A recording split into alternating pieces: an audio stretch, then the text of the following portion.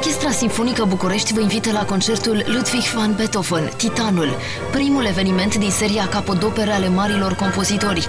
Invitat special, pianistul Sergiu Duhuțiu. În program, concertul pentru pian și orchestră, Imperialul și Sinfonia 5 a Destinului.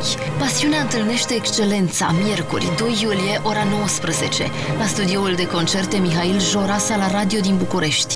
Un eveniment marca Orchestra Sinfonică București, eveniment recomandat de Realitatea TV și TVH.